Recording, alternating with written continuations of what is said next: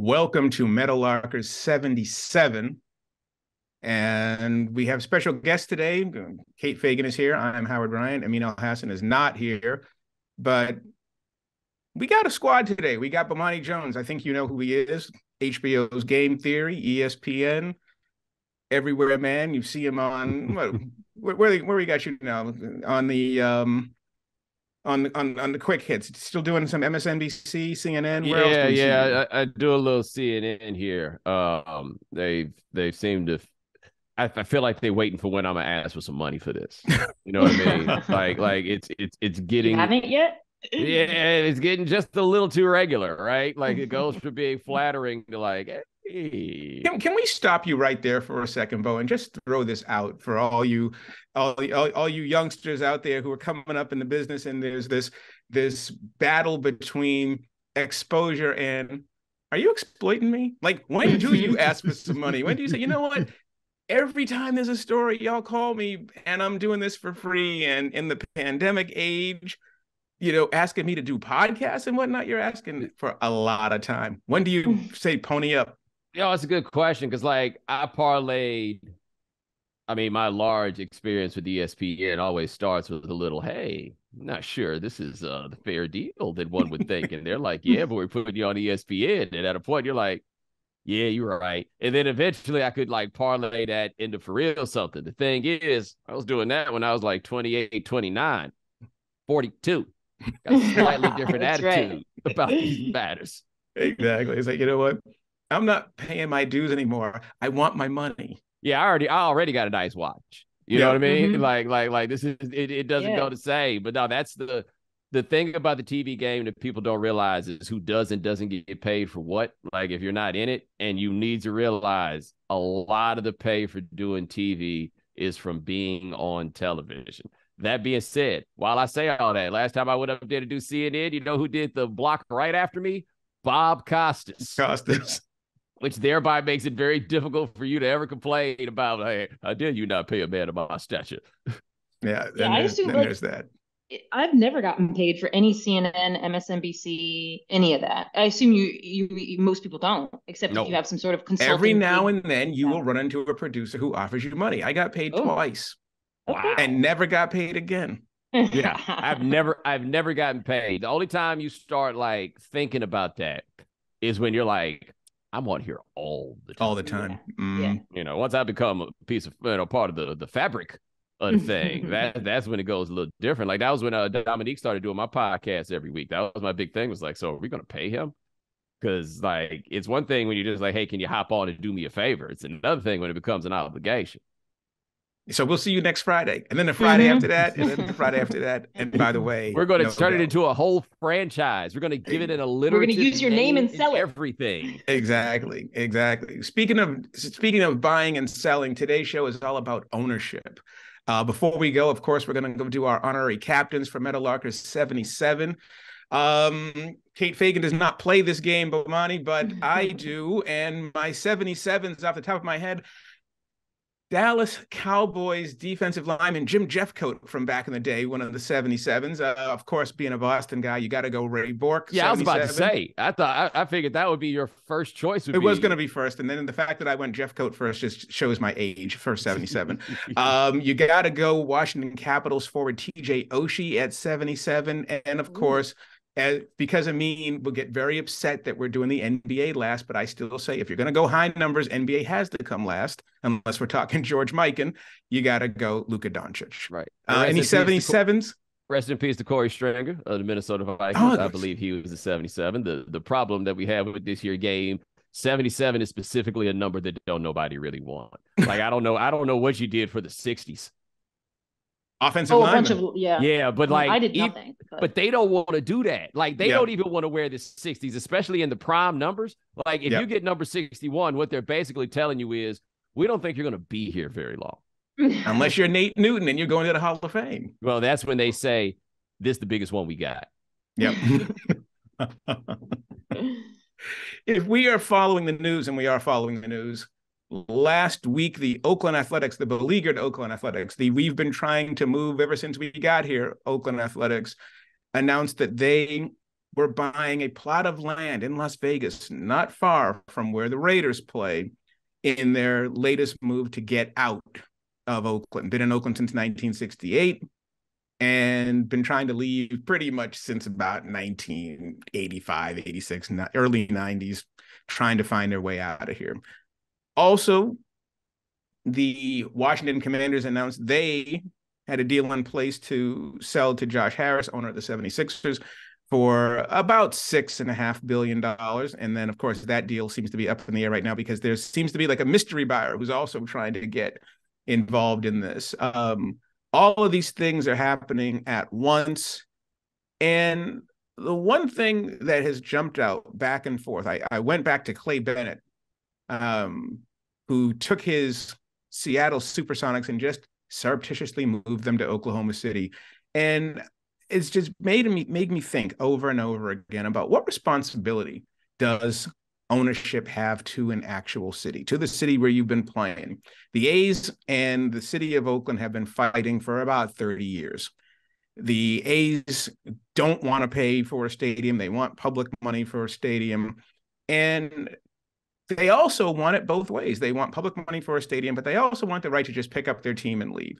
Bo, you've seen this for however many years. We've all been watching all of this when you see these cities battling, you know, municipalities battling with teams, what's the responsibility that the team has to the city when they want taxpayer dollars? Yeah, so there's so many levels to this, right? Now, I grew up in Houston and we moved to Houston in 87. So I was just about to turn seven years old. And one of the first things that I do remember happening in sports is Bud Adams getting them to tear down the iconic center field scoreboard in the Astrodome so that they could build more seats. Right now, the Astrodome, of course, is an interesting structure because it was absolutely at the height of technology when it was built, simply because it existed. But you were playing sports in a warehouse. There's just there, there there's no. that's the one of the more charmless establishments that there has ever been. Never went.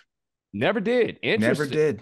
Nah, but they tore down the scoreboard, and the scoreboard was a big deal. Like, like, like for 80 scoreboards, it was really big and it did all kinds of graphics. Like the, the locals were very upset about tearing down the scoreboard, but they did it. Then when the team was terrible, he walks in after he has previously tried to move the team to Jacksonville and says, Hey, we're going to move to Nashville.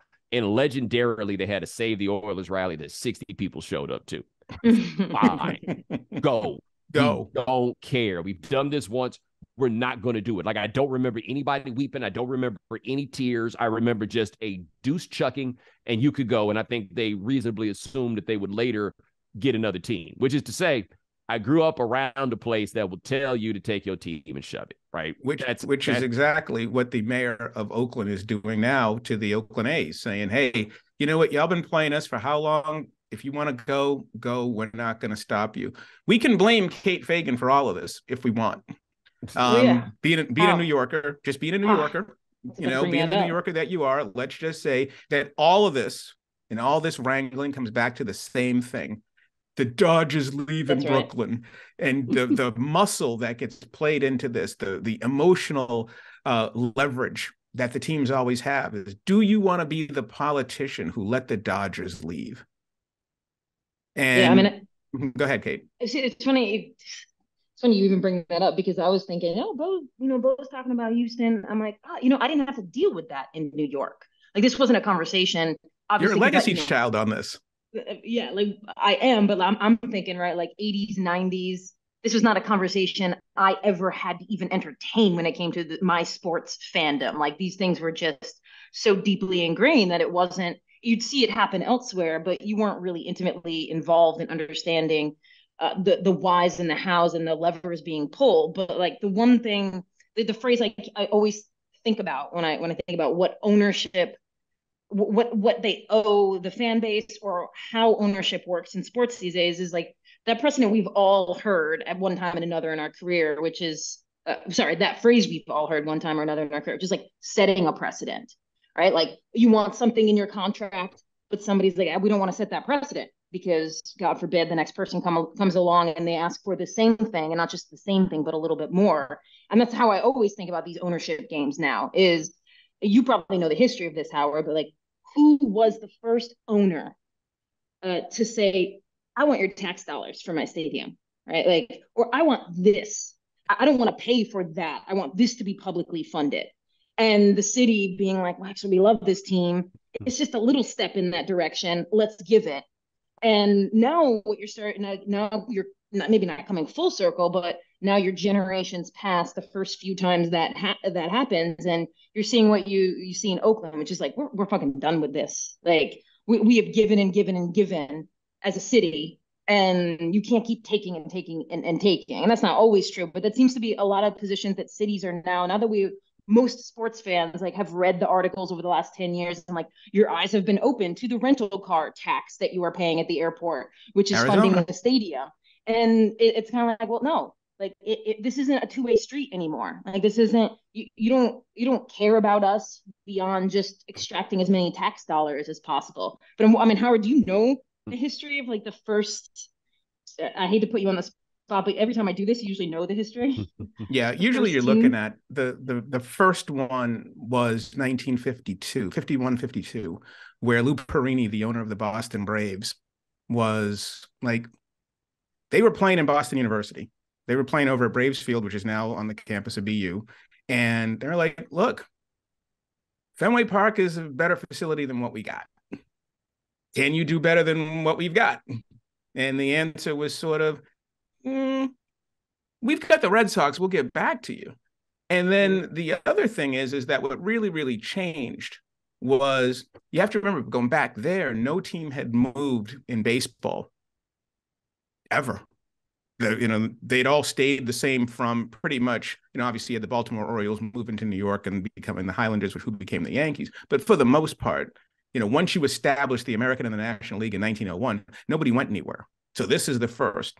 So instead of the teams really muscling the cities that they were in, you had cities who wanted expansion making sweetheart deals saying come here come here come here. So there the shoe was sort of on the other foot. You were being wooed constantly. And of course milwaukee wanted a team and the milwaukee braves you know boston left in 52 and they moved to the milwaukee uh, become the milwaukee braves in 53 the big one obviously was was the dodgers it was walter o'malley and robert moses tooth and nail moses was thinking about a domed stadium in brooklyn can you imagine the Dodgers playing in a dome over by where, the, where Barclays is right now. I mean, this these things were all in play, but nothing was going to be able to compete with Los Angeles.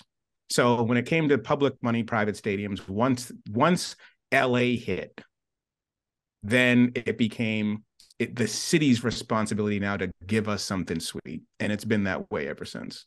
You see, LA there's a plausible argument for using public funds for getting the Dodgers there when they did, because the history of Los Angeles was so much about adding these pieces that gave mm-hmm. cultural texture to the place. Like at every point, they looked up and were like, "Hey, we don't have any artists. We need yeah. to bring in some artists." And then you bring That's in right. some artists. It's like, "Hey, our academic situation is not so great. I guess we need to build this up, right? Like at every turn, they because built... it was a desert, you had to right. build it, mm-hmm. right? But you know, this is they built it in component parts, and there's a legitimacy that came from having a baseball team.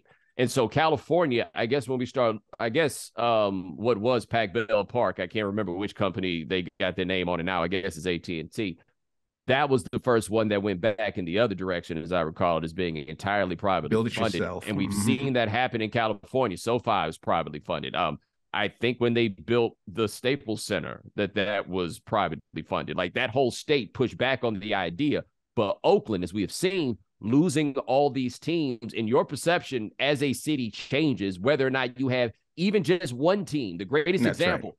the Portland Trailblazers are the only reason I know anything about Portland, anything at all. All that we would be up there, and I'd have no idea about it if they had not had the Portland Trailblazers to begin with, right? And so Oakland had seen those teams go. They saw the Warriors go across the bay. They saw the Raiders go there. And I felt like the thing was, okay, but we can extort and get this done. And I'm like, no, you weren't ever going to be able to because you were playing in that shithole for so long. If they were ever really going to be in a position to give you money to get out of there, that would have been done a long time ago, you know? And yeah. so I always feel like the obligation to the original question that the teams have or that you have to the city, because I do feel like teams in large part are public trust.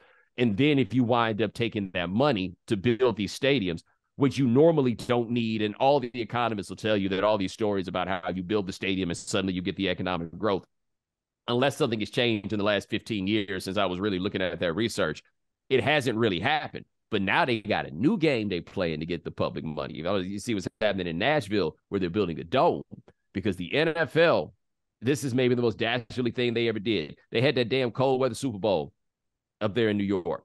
And then they had that Super Bowl in Indianapolis. And suddenly, if you built a new stadium, you got a Super Bowl. A Super and that arena Mhm. that you can, I mean, that stadium that you can have that Super Bowl in, you can also have Final Fours in. Now you're selling something different. Like it's one thing if you're just asking people to build a baseball stadium in Oakland, but that's not going to attract any other events. That's not going to attract people to your city. Nashville, which is trying to become like Las Vegas East without the casinos to a degree. Look at Bachelorette Party Central. Right. And so they want these final fours. They'll now be able to get a Super Bowl. They'll now be able to sell this city. Now, boom, you can make the argument that we are doing something for the greater good that I don't necessarily agree with. But to me, that also means, well, y'all really can't go nowhere. Like that would be my thought. And I feel like now, though, the only thing that's really going to bind people and keep them is the fact that they're out of places to go.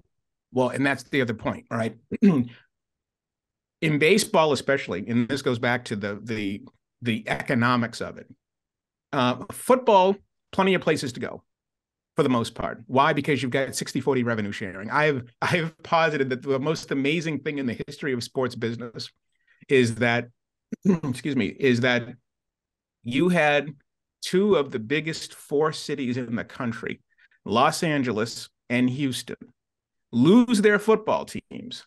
And those two teams met in the Super Bowl less than a decade later. Was it six years later? They met in 2000 Super Bowl.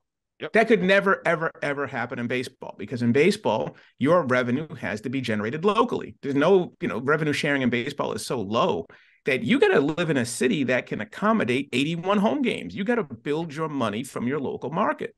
And there really aren't that, there's, if this isn't 1950 where Lou Perini is looking for a place to go and there are no baseball teams west of St. Louis.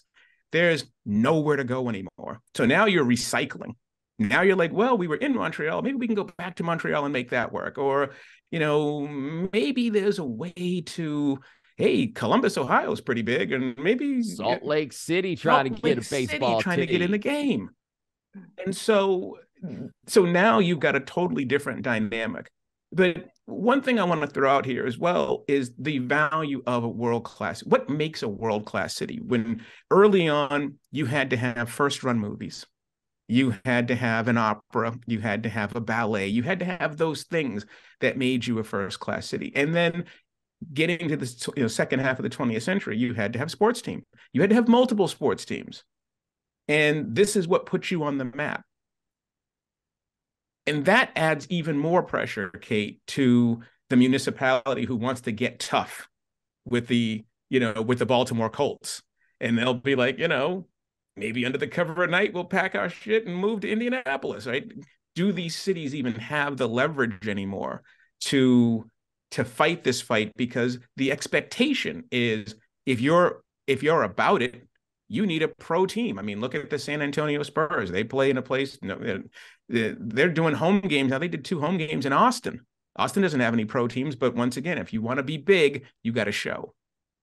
Yeah, I mean, I, I have a I have a different kind of reference point from that since I live in Charleston, South Carolina, and part of the conversation that is consistently happening around here, to, to Bo's mention of Nashville, is like we have to actively not become Nashville because 30 years ago there was probably a lot of comparisons between Charleston and Nashville. And I'm not saying Charleston would never like if it grew and grew and grew would never like all of a sudden uh, have their minds spun to the idea of bringing in a, a huge a big major league team but all of the conversation when you live in a small city and i don't know what it was like generations ago is that is not necessarily anymore what you need to be considered a world class city like I, you know and this is a very local point of view but there's a different metric now when it comes to like that you'll always look at lists of like the best places to visit or coolest little cities in, in the world and charleston is always on them. And i think there has been a disillusionment with what it means and what the cost is to have a major professional sport that didn't and i think the equation was very different a Isn't that similar- ago. Isn't that similar, Kate, to the Olympics? That there used to be an allure to getting the Olympics, and now it's like, Yes. I don't know if this is really worth it anymore. Well, And to well, your point about like the community aspect and whether or not these major organizations, what their community responsibility is, like in these smaller cities like the one I live in, like we have a lot of sports, but they are all very much community oriented. Like there's a USL team. You know, there's like there's these different places like that where the value the city extracts from them is more in line with with what the city is. And when I look at the major professional teams, it seems like there's been a degradation of like what their actual community involvement is. Like, you know, maybe 50 years ago, the pro players were closer to community members in terms of salaries and identification and like and where they were going within the city than they were to the owners.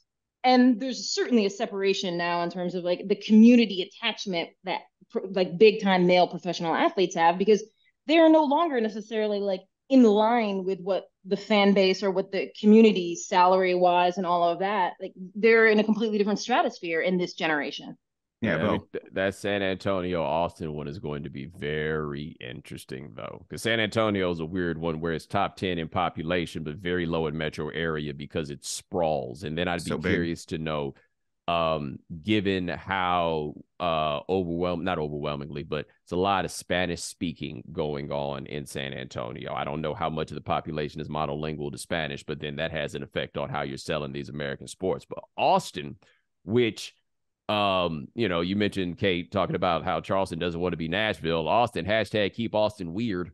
Mm. Now it's a different kind of weird um that they have going there, but that's a town that's attracting people that'll want a basketball team. They'll want an arena to sit courtside with. And that is the sort of place that I could absolutely see believing that having an NBA franchise would legitimize it in a way. And I think that if there was the Austin, whatever it was, the way Austin rings out in people's minds would be different. Because like I think that people, when you say like the keep Austin weird stuff and everything else, I think in their minds, if you don't know any better, you think of Austin similar to what Portland is. And it's like, yeah, if you put Austin in the dryer and let it shrink down a mm-hmm. bit, then it would wind up being Portland. They get a basketball team and then it looks different. But with San Antonio, that's the team, that's where the roots are. But that is like I don't I don't think of Austin and San Antonio as the same, but it's kind of like Orlando Tampa, where for purposes of this discussion, they wind up being the market. If the Spurs leave San Antonio, they're leaving town, but they're not really leaving. But they're leaving just enough to where if you're in San Antonio, you're salty about it. We'll we'll we'll come back to that um, because I do I have do have a point I want to make on that, but you know also want to switch gears in an, in another spot as well, which is when you're thinking about these teams. Kate, we spend so much time talking about players. We spend so much time talking about who's putting out, who's not putting out, you know, who's giving effort, who should be traded, all of this. I mean, obviously the players are the game, so that's sort of a piece of it. But in the Moneyball era, and as things become more and more and more empire based, and as we're talking about franchise valuations, Daniel Snyder is about to make a boatload of money from selling the Washington Commanders. That football team, that that business, not even the football team, but that company that is the Washington football team, is mired in scandal right now. They're they've got government investigations, they've got lawsuits by former employees, and Daniel Snyder is going to still come out of this, maybe reputationally not great, but he didn't have a great reputation anyway. He's going to come out on top with a huge sale. And that team has been garbage. They never, they didn't make an NFC championship game. They certainly, obviously, they've never made the Super Bowl. Clearly, they didn't win the Super Bowl. They, they have been so bad.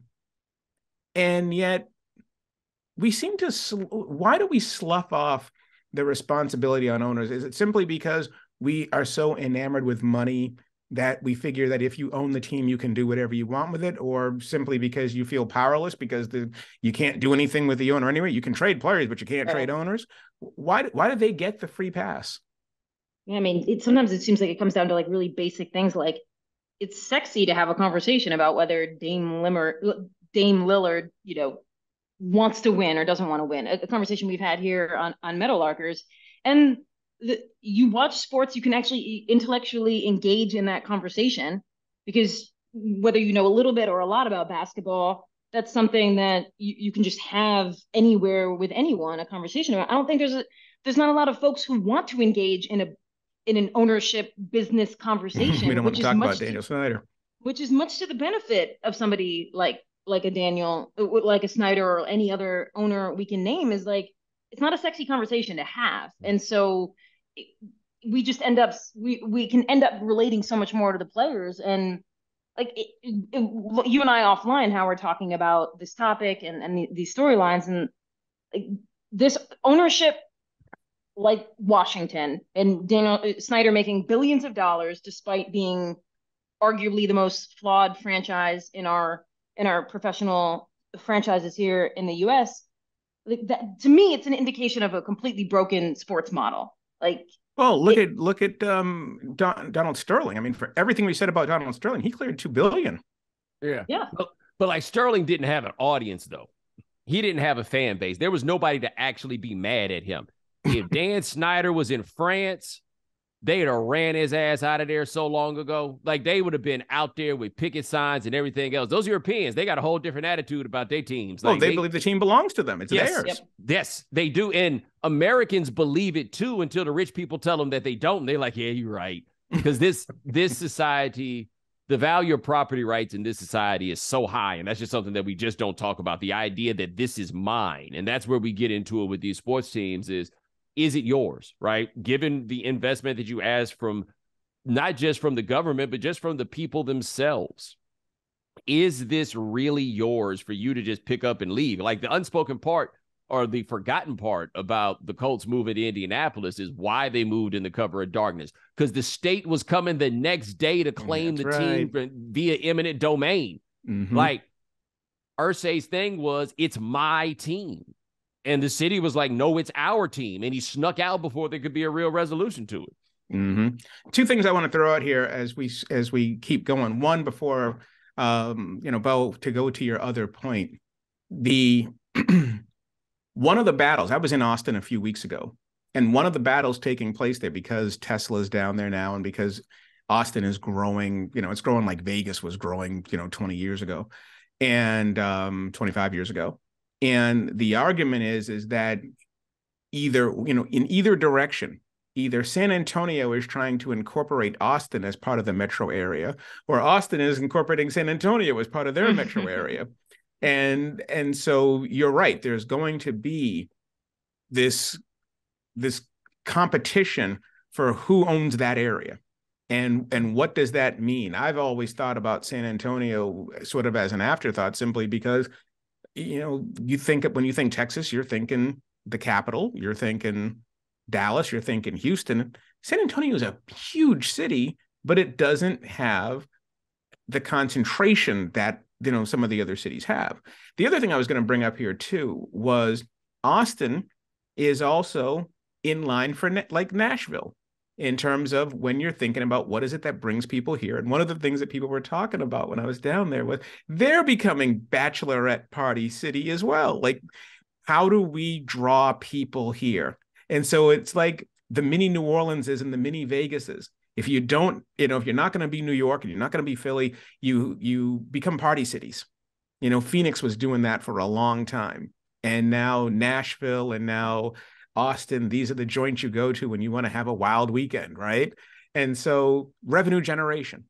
The other thing I wanted to bring up is to, to uh, something Kate and I were talking about earlier, Bo, and Kate, jump in on this, is we've reached a point now in male professional sports.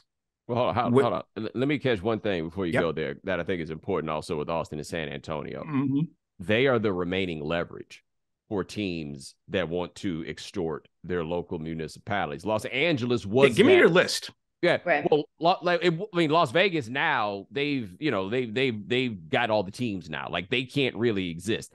I really think San Antonio always exists because something that is lost is that the state of Louisiana has to pump, I believe, hundreds of millions of dollars into the Saints, you know, because New Orleans is simply not a viable major league city by population or anything else yeah. anymore. Tom Benson, who I guess he's now died, but owner of the team, his widow now owns the team, was a San Antonio guy. And they built the Alamo Dome in the 90s for the we can get an NFL team. The NFL team never got there, never mm-hmm. showed up. but they always had that building. It's kind of like that shithole they got in Tampa. That was part of that. Like it was all for baseball. It was the leverage the Giants obviously used. Like, hey, we could always go over there. That's right. Austin and San Antonio, or Austin's going to serve as that place also because we still got a lot of places that got teams but barely got a dot on the map. And as long as you've got one of those rising places that can serve as that leverage, you're going to wind up having that game. Now, with Austin, it'll be interesting because they have a pro football team. They wear orange. They don't That's really right. need That would be the UT. team. Right. But they'll take it back. I mean, even though they just built the new arena for the for um for the Longhorn basketball team, I think that they would in a heartbeat build themselves an NBA arena and allow somebody else to use them as the, you know, oh, you know, we can always go to Austin because I just don't know what's left. Saying, I mean, NBA already got so much bad real estate. I can't think of what's left. Now you got Portland, small market, but the Mariners would be like, hell no, that's too close to us. You've got Charlotte, where you know you've got two teams in Charlotte, but um, you know, can you really put another sports team in Charlotte? Right. Right. You've got Nashville for baseball. You've got Salt Lake City, which is bizarre, um, but once again, somewhat viable. You can go back to the future. You can go back to Montreal if you want baseball. Um, but seriously, there's just not a lot of spots that are clamoring. The one that has always fascinated me that Fay Vincent, back when he was commissioner, used to talk about all the time in baseball was go back to the future in New York and put a third team in Connecticut. You know, put a team. There's a lot of people there, and I, you know, and obviously that would never happen because the Yankees would have a fit, the Mets would have a fit, and the Red Sox would have a fit. You put a team, another team in New England, you know, so you're running out of space. The other piece of this too is that as we go further and further into the the male professional sports, we've reached saturation. Yep. And we haven't done that in the women's sports game.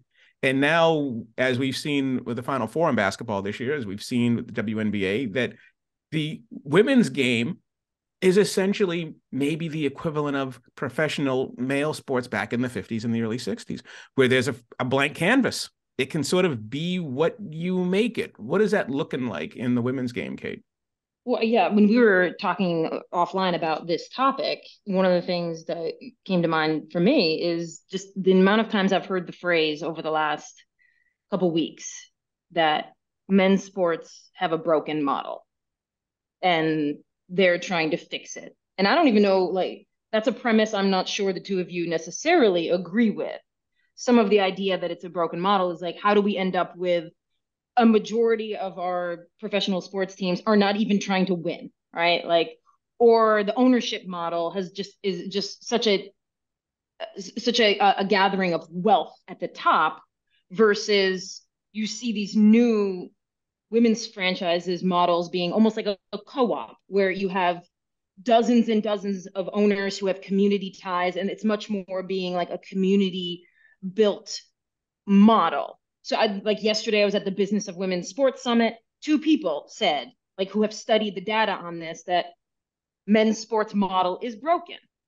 And for all for the reasons we are, are have kind of mentioned here, whereas like there's a lot of white space in women's sports. Like there are models that haven't even ever been built, have just been completely uh, ignored for generations, whether it's merchandising, bedding, certainly stadium building. I mean, Kansas City which has an NWSL team, is building the first ever stadium that will be specifically and only for now a stadium built for a women's sports team. Right? Like that has never happened in history. So, uh, first of all, just the premise, right? Because if all if all of our conversation now is like the the commu- the broken uh, connection between community and ownership for various reasons, and the ownership extracting so much wealth from franchises that may, have never even won, does that indicate to you that there is a broken model in, in men's sports? Well, I mean, I think we forget that the people who own these sports teams weren't always this rich. Right? There wasn't right. always this kind of money. Like I think a great analog to what's happening is what happens when the music industry goes corporate. Like it was a much better situation when the people you to own a record company, you had to really enjoy what this thing is that you're doing. And that really isn't the case anymore, right? And so yes, this is I think it's absurd to buy like like buying a Corvette to save gas. Like you're buying a team to make money like I would think that you bought the team because you already had all this money and now it's just time for you to floss. Like this is a boat. This is what this is. No, these are profit centers for these guys because the TV money is so big and always seems to expand. And as much as we talk about TV going to the wayside, no, not really, right? At least no. not in a way where it can't be monetized. And I do think that, like baseball, for example, specifically has a model that is broken. I would not necessarily make the argument about football. I think basketball got them, the NBA got itself into a trick bag on that one, but I think they've slowly like inched themselves out. What worries me though about the idea, if the model of men's sports is broken, what we've seen in the WNBA, for example, though, Joe Tsai bought a team. Uh, Kelly Loeffler sold it to one of those collectives, but this is, you know, married to the uh the man who ran the New York Stock Exchange, right? Like I know she had not to say she didn't have her own money. I'm just saying that to say that whole class of people seems to be coming in because they think there's money to be made off of it. Like they think that there's a party there. What I want to know specifically with the WNBA is when will they be able to expand? Because the broken part of the model that, especially with the WNBA, has is all these players, eight teams or 12 oh. or whatever the exact number is. Yeah. Like we are at the glut of talent where first round picks can't make a roster because the it's salaries can't go up high enough to age the old people out. NBA 1962. I would like to tell you a story because Bo brought up the music industry and as we're talking about where we where we are right now in sports when i was four years old four years old yeah um my favorite album was stevie wonder's Innervisions I used to sing it all the time as a little kid. My parents my mother took me and my sister to the local record store in Boston, Skippy White's in Mattapan, and she told us that we could both choose an album and I chose Innervisions, And my mother wouldn't let me buy it. And the reason she wouldn't buy it for me was because she said, We already have it. And I said, Yeah, but I don't have my own personal copy. So I ended up leaving with Winnie the Pooh. And my sister ended up with um, Alice in Wonderland. Fast forward to 2016, I think there was an anniversary. It was like the 44th or 43rd anniversary of of Innervisions coming out. 43rd. And and um, I love that album so much, and I love the cover art and the whole thing. And so I decided to go do a little internet dive on the cover art. And the guy who did the cover art is still alive. I called him, a man named Efram Wolff I called, I emailed him and asked him, you know, if he could make me a print of the of the cover album of the uh, of the inside art. And I bought a print from him, and it's hanging up in my room. And I also asked him, could you tell me a little bit about this? And he tells me this great story about how he was a college student, like a sophomore, you know, his dad was a musician and he was looking for like a summer gig and he was an artist and he just walked into Tamla and asked for a gig, you know, got anything I can do here? And they told him, well, yeah, well, you know, we're looking for some cover art for a couple of our uh, upcoming albums. Um, we've got a Stevie Wonder. Um, maybe you want to do some art for it. And the album's going to be called Talking Book. And um, you know, we'd like you to do the cover art for it. And then the, the, higher up, one of the higher ups said, Well, Talking Book we think is going to be a really big hit, and you're really young. So why don't you do this one? Innervisions is another album he's got. Why don't you do the cover art for that? He walked in off of the street. And in terms of the big business, the way business becomes what it is today, this would never, ever, ever happen anymore. So when you're looking at you know the the size of professional sports on the male side, and then you look at where we are, like the blank canvas, there may still be some sort of crazy entrepreneurial stories on the women's model right now because there is so much white space. There are you know sort of stories for you know the creativity of it to still come through, whereas on the male side, it's just too big. Yeah. and and to that point, I love that story as well. To, to that point, and then also kind of what Bo alluded to with like who's coming in, the billionaires who are buying some of the women's franchises. Like the big question mark is what, and we've talked about this on this pod, Howard. Like, do we want women's sports to look like men's sports? Right. Like, is that what we want? Because it ain't that pretty, right? I mean, there's a lot about it that's great. If you're talking about you can make a hundred million dollars if you are the very best of the best. So of course I want bigger salaries for women, but like, do I like the lack of uh, community engagement? Do I like the fact that youth sports is just a complete mess? Do like all these things that have been driven by the way men's sports is is driven? Like that's not the vision I have for women's sports. So when you know people always say this thing all the time, like you know what? In a couple of years, I don't want it to be women's sports. I want it to just be sports. And I'm like, I don't. sports ain't that great.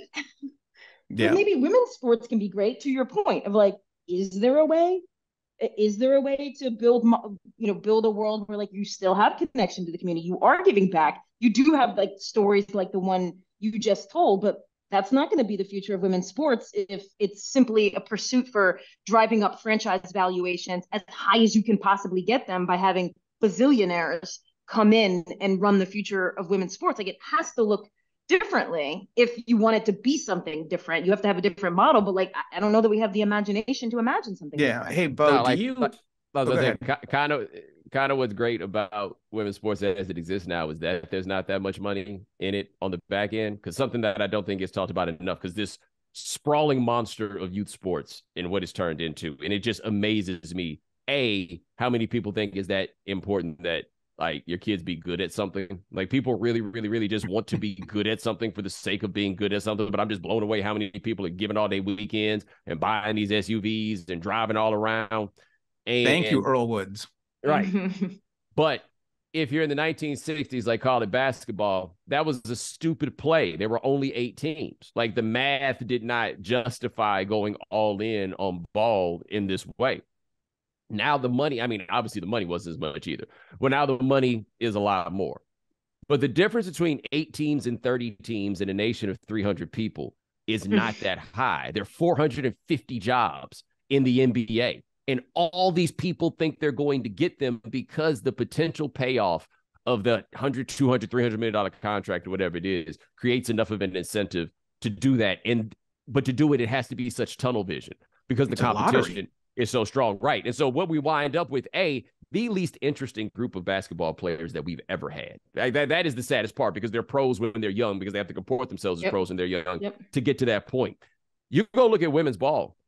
It's so much more interesting. The people are so much more interesting. The energy around it is so much healthier. It's almost like people are in it for the game itself. I was going to say it's, not, a sport. It's a right, game. Yeah, it's yeah, almost ex- like they're actually people who yes. have full rounded lives. Yes. yes. Like the, the externalities of the game and the money that comes from it is so like problematic. But the way that we the way that we glean respect in this society is via money, right? Like I think a big part of why we have the discussions that we have about salaries in the WNBA and everything else is in part because we want these women to be paid like this because the people who get paid like this get treated like this. And it's not just part of it is the pay equity, obviously, but also is the idea of respect. And these women deserve the same respect that their male peers get, but it's hard to get that if there's not money. have the money. Mm-hmm. But then mm-hmm. if we get the money, man, we're going to wind up with people that we don't want to respect nearly as much as we do right now. Not that you should take a vow of poverty necessarily, but it's to the Kate's original point. Do we really want this to be like this other madness? Well, and also let's about? go and also let's let's go move quickly into into one other thing, uh, Bo, is that the buy-in is enormous. If you want to be a major league baseball owner, you have to be 30% liquid of the sale price, not net worth, liquid. So if you want to buy the New York Yankees, which are valuated at $7.5 billion, you've got to have $2.25 billion sitting in your savings account right now. Right now. so like so what does that mean so like um, unless the saudis are going to buy the yankees there's like what nine people in the united states who can buy the, the new york yankees if you want to buy a professional basketball team you've got to be 15% liquid You know, I mean, you gotta have the cash on. And the hand. Milwaukee Bucks just went for four billion dollars. And so did the Suns. But at least the Suns are in Phoenix. The Milwaukee Bucks just went for four billion dollars. Yep. But if I wanted to become an, a small owner in an NWSL team or a WNBA team, maybe the buy-ins twenty-five thousand dollars or fifty thousand dollars to have like a fraction of a fraction, but because they want the community of it. Like I, I doubt that there are ownership groups looking for the NFL or NBA who are like, well, what value does that person add beyond money? Whereas on the women's side, you're like, well, do they add value in media? Do they add value in X, Y, and Z? So, like, I mean, ultimately, it's it's back to the original thing we are talking about five, ten minutes ago, which is like, I like that model better. Like, does that model like? Do I like shopping at co-ops? Yeah, I do but I don't know how you maintain that ultimately. But it also goes back to Bomani's point about about interesting people. You have cut the number of people who can join this thing. Right. Right. I mean, how many people, when you're looking at these franchise valuations, have the liquidity to even get into the game? Like when I'm, I can't wait to see what happens if Josh Harris gets the Commanders when Magic Johnson moves in on this. Is so did he parlay his 2% interest in the Dodgers to a 2% 2% interest in the Commanders or is he playing at a higher level now? I mean, the number of people and it goes back to something Bo you and I've talked about for years when, you know, from a racial standpoint or a labor standpoint when you have the athletes going, "Man, we got to do our own leagues. We got to have our own teams." Do you know how much this is going to cost? You can't do it. Now, George Steinbrenner bought the New York Yankees for $10 million in 1973. They're worth 7.5 billion now. Right. Uh, Jer- Jerry Jones could not buy his way into the NFL at this point. I mean, the the the gap is huge. So where does that leave you? Where does that leave you with those valuations to bring our conversation full circle as we wrap it up? One, at that level of financial commitment, there's no way these teams are gonna unless there's some level of force that I can't consider right now that's gonna say, okay, if you want to move, you got to sell locally first. They're gonna be like, nope, my team, my money, I can do whatever I want with it. Two, you're going to have a very small number of people who are able to get involved in this in the first place. To Kate's point about, well, if that's the case, then clearly this is there's something of it that is broken you also have some level of uh, brokenness if four or five teams a year are the only ones who are competing to win. Right. So when you're when you're looking at this to wrap up, Bo, where's the avenue where you see, I don't want to say hope, but I say where you see the most movement, where you say, okay, this five, ten years from now is going to look different here. Is there any way that we could get more drug dealers involved. and I and I and I asked that because I was thinking about uh the two Escobars, 30 for 30 they did on Pablo Escobar that was really centered around the soccer, right? That the Doughboys in Colombia in the 80s were funding the soccer teams. And you know why? Because they enjoyed soccer. Right. They wanted their soccer teams to be the best. That might not work out so well for the referees every now and then, but they really cared about winning. Winning. They really cared about flossing these dudes care about making money off of these teams. Like, where is the mm-hmm. thing about Steinbrenner that was so interesting is that he really wanted his baseball team to be good. Like, he figured out if I'm going to be somebody here, I mean, he's a shipbuilder from Cleveland, but if I'm going to be somebody in this city, this baseball team going to need to hit. And if they do, then I get the spoils. This billionaire class traffics in a different way at this point. And I would think that if you wanted to buy a team, it's because you wanted to have a good team and you wanted to be the guy like Cohen is doing. We did something on game yeah. theory about this, like Cohen is doing. But there's only like two or three of those people who actually have that sort of like inclination and motivation. Even Jerry Jones, where you could question how much he wants to win. You can't say he ain't trying, and he does at least want his team to be interesting. And the Yankees and, are the family business now. Right. And you and I talked about this that people have sports have been printing money for so long that nobody bothered to ask why. And the why is because this stuff is interesting. It is compelling. It it it draws in on human emotion in a way and is evocative in a way that keeps us around. And all that is fading in the face of all this money. And with these owners who have absolutely no accountability to where we start in the very beginning because rich people have no accountability because they are the paragons of respect at this point. Yeah i mean the the biggest word that we've used this entire hour is like the gap. The gap we're, we're talking about the gap between what it used to cost to own what it costs now the gap between community and ownership and you know connection to your team the gap between players and fan bases. I mean all of that is only growing. So i don't know howard if it was like solution oriented. I mean like bo said like if if sports sells itself consistently because it's just you know fun beautiful whatever it has been over the years and now, if the money is so incredibly big that you are even uh, triple checking a tweet you send out because it can't go a well then that storytelling is also going to be corroded so I, you know i guess i do tend to lean like all the times i've heard over the last couple of weeks like the model is broken that doesn't mean men's sports is broken but if the model is broken the after effects of that over the next decade we will start to see where those breaks are uh, i don't i mean i don't know how you how, how you close that gap though. Because yeah, I don't think you can. You can't close it because it requires like, do I want players to make less money? Do I want the franchises to be worth less? Like that that gap is only growing, and to to close it is what what you need to to create the energy that sports provides. That's right. And it's going to be virtually impossible to do that because of the level of growth. Um, to close, I will simply say that uh, looking quickly at the inflation calculator, 10 million dollars in 1973 is the equivalent to 67.9 million today. You might not even be able to get investment. Yeah, you can't even get season tickets for 67 million dollars now. Never mind the 7 billion. We're in a different state. It's a different it's it's it's a whole new ball game as as as they say. And now um, by the way, those super rich kids don't want to spend no money on the baseball team. That's mm-hmm. right.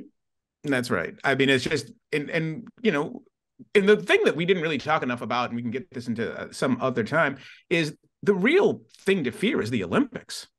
Like if the if you're watching this in terms of the money, the Olympics used to be the most interesting thing during an Olympic year. It was the thing that we people don't even care about it anymore.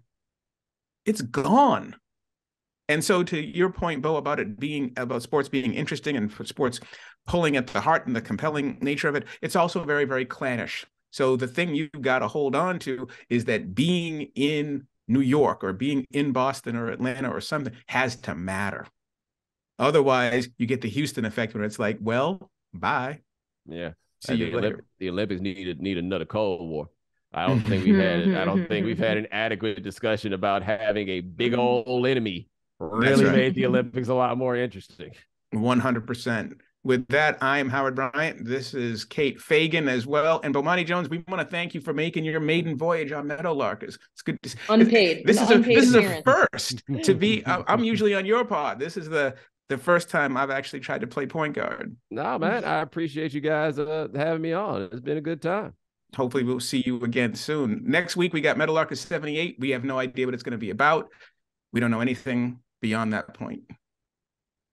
I don't even have a 78 for you right now, except maybe New England Patriots. Oh my God. Tony McGee, 78. Leon Lett. Leon Lett. And Leon Lett is 78. Yes. No, I just flex him.